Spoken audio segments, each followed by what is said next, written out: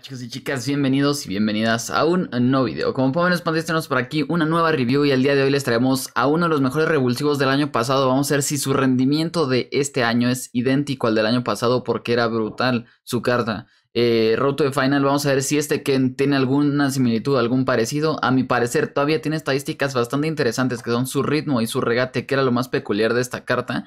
Y pues evidentemente el tiro ya no llega a la misma calidad que tenía el año pasado. El tiro era algo muy, muy, muy brutal que tenía porque el tiro a primer palo era muy bueno. Vamos a ver si este año se nota la diferencia de la, la diferencia de tiro que hay en la actualidad.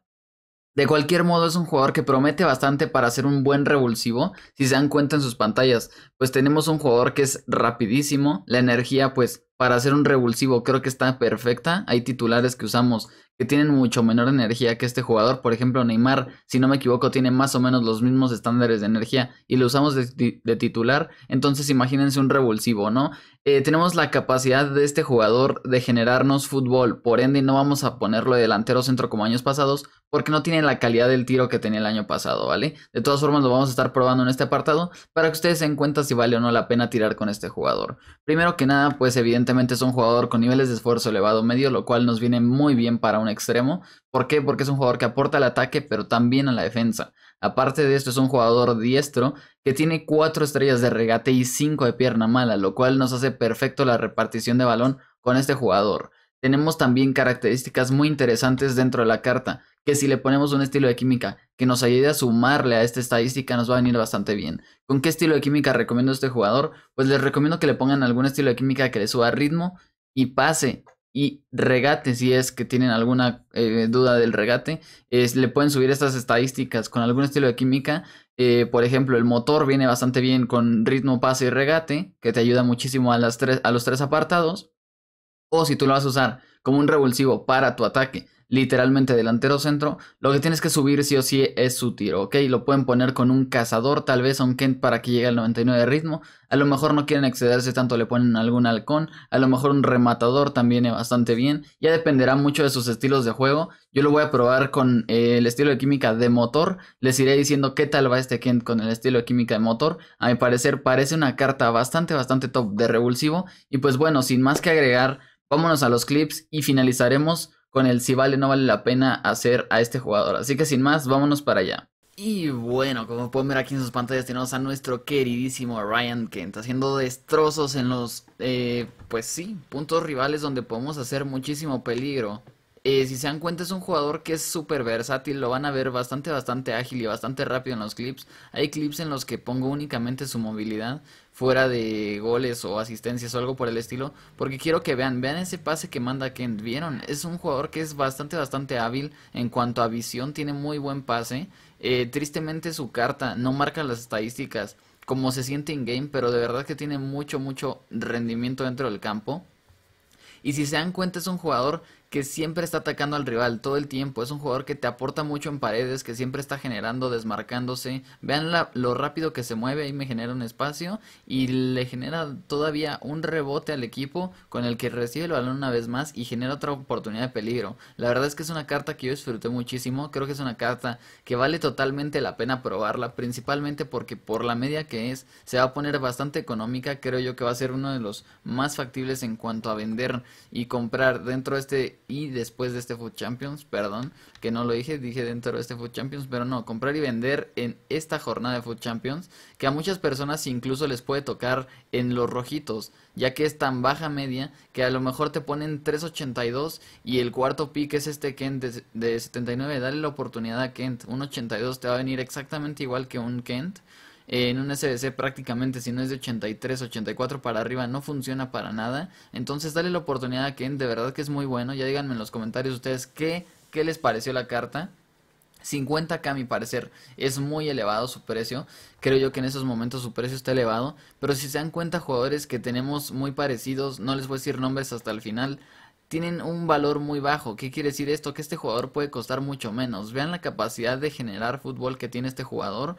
Lo llevé de extremo y lo llevé de segundo delantero junto a Rashford y vean la oportunidad de ocasiones que nos generaba este Ken. De verdad que se disfruta mucho esta carta. A mi parecer es de las mejores cartas revulsivo que puedes tener en el juego. Tristemente después del medio tiempo el jugador ya no me funcionaba como en el primer tiempo ya no se movía igual de rápido o tal vez ya no hacía este algún regate igual de bien. Entonces es por esta razón que yo les recomiendo que este jugador lo lleven de revulsivo. Vean la capacidad de tiro que tienen, las coloca todas, todas, todas bajo el ángulo o por encima, ya que es un jugador que a pesar de que tiene tan mala definición, tiene muy buenas capacidades, pues yo no sé si de tiro o algo por el estilo, que hacen que su propia carta por default tire bastante bien. Si se dan cuenta, aquí estamos generando muchísimas ocasiones de peligro y generando goles bastante sencillos porque se incorpora muy bien al ataque y aporta mucho al equipo, véanlo. Literalmente puedes estar girando encima de los rivales y puedes ocasionar obtener un penal. Si se dan cuenta, estas oportunidades de gol las generamos muy rápido. Evidentemente no entran todas, vean, hay otro poste que hacemos con Kent, su pierna mala que prácticamente no se nota. Eh, tal cual 5 estrellas de pierna mala parece una pierna buena con Kent.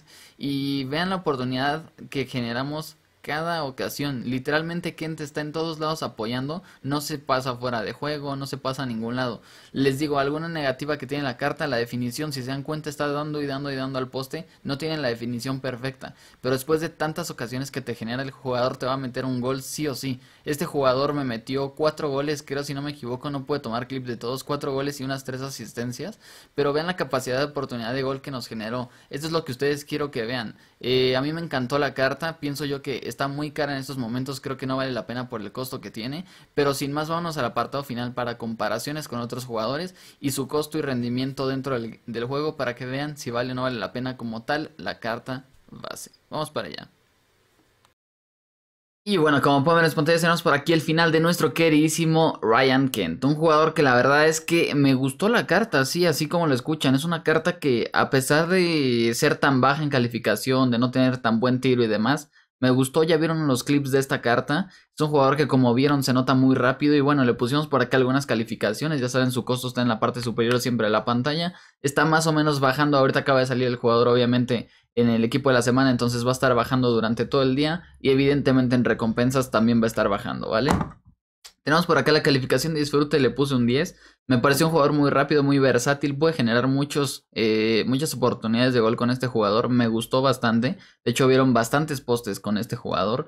Tenemos una calificación general eh, de 8. ¿Por qué razón una calificación general de 8? Pues no es un jugador top, no es un jugador que les recomiendo para que lo metan de titular. Es muy bueno para que lo metan de revulsivo. Si se dieron cuenta, los minutos que mejor me rindió fueron los iniciales de los partidos, lo cual hace que esta carta si están cansados los rivales, va a estar muchísimo más top todavía. Quiere decir que cuando tú ya utilizas esta carta y esté un poco cansada, no le vas a encontrar el mismo rendimiento. Por ende, de titular no entra tan top. ¿Qué ventajas tiene? Bueno, tiene link con Tavernier perfecto, lo cual no ocuparía ninguna este, cambio de posición. ¿Qué ventaja y qué desventaja tiene? Pues evidentemente es de la otra banda y ventajas que también se puede vincular con Rashford y puedes poner este Kent con 7 de química de si gustas meterlo de titular y, te va a funcionar dándole química con Tavernier, ¿vale? Eh, calificación por precio, me parece un jugador muy asequible, la verdad bastante económico, pero Orsic es muchísimo más barato que este Kent. ¿Qué desventajas tiene Orsic sobre Kent? No tiene 5 de pierna mal y no tiene 4 de regates, ¿vale? Entonces, como pueden ver en la parte inferior del lado derecho, tenemos dos jugadores parecidos, Sterling y Orsic. Sterling se le aparece muchísimo a este jugador en cuanto a velocidad y explosividad dentro del juego, y Orsic se le parece muchísimo en cuanto a la movilidad que tiene el jugador. Es decir, Sterling se mueve muchísimo mejor con el balón en los pies, pero es muy, muy, muy malo y se nota demasiado malo tirando.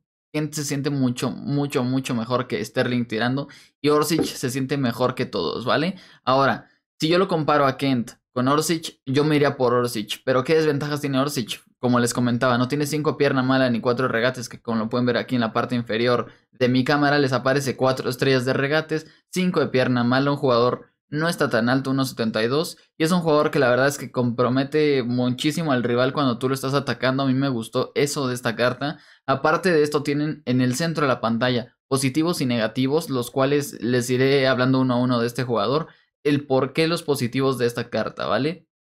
Pases. Es un jugador que se desenvuelve muy bien, pero no solo eso, da muy buenos pases, pero aparte auxilia en la jugada ofensiva. Es decir, tú le das un pase y él se mueve para que le regreses la pared desmarcándose. Es algo que muy pocos jugadores tienen en la inteligencia artificial dentro del juego que puede hacer estas capacidades, ¿vale? Cinco pierna mala, se nota muchísimo. Se nota demasiado su cinco pierna mala con Kent. ¿Por qué razón? Es un jugador que tira con cualquier pierna y las mete o les pega mucho al poste. Si ustedes se dieron cuenta, estoy probando muchísimo su pie zurdo y su pie derecho.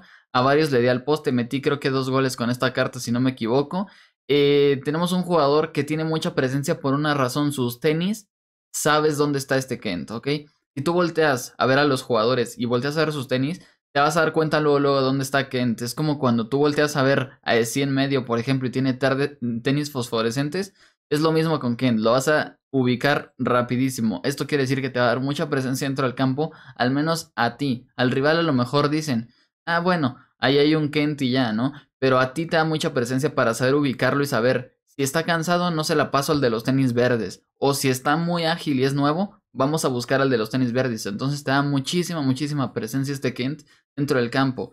Es muy rápido, te da muchísima velocidad dentro del juego, se nota muy rápido, haces un regate y sales de una bicicleta muy rápido. Me acuerdo que destruía tres veces a Condé, eh, nada más haciendo bicicleta y el para atrás para adelante.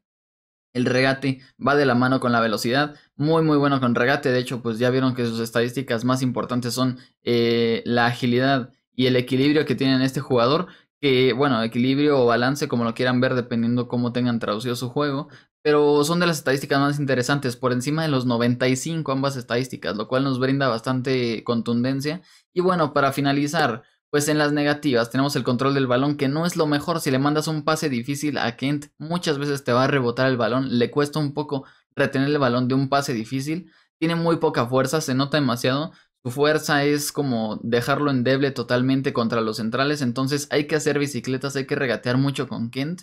Y su definición. No tiene la mejor definición, es muy evidente, tiene 73 de remates o 73 de definición in-game y se nota muchísimo con la carta. Entonces yo espero que pues más o menos con esto relacionen si vale o no vale la pena. Yo creo que a muchos de ustedes les puede tocar en rojo esta semana, entonces si les toca en rojo y a lo mejor tienen algunos picks de 81 y 82, Nunca van a usar esos 81 y 82. Agarren a Kent, pruébenlo de revulsivo y sin problemas les puede venir bastante, bastante bien para su equipo este, en cuanto a revulsivos. Me parece una cartaza y yo espero que ustedes me den su opinión cuando tengan esta carta. Me dicen si vale o no vale la pena para todos ustedes. Sin más que agregarles, espero que me puedan regalar un like. Suscríbanse si no están suscritos y recuerden que en la parte de la descripción tenemos nuestra Twitch. Nos hacemos directos casi todos los días sobre tradeos para que ustedes puedan ganar muchas monedas. Los espero al rato en la lista de los IF para inversión más noche. Un abrazo y nos vemos en un próximo video. Hasta la próxima chicos. Chao.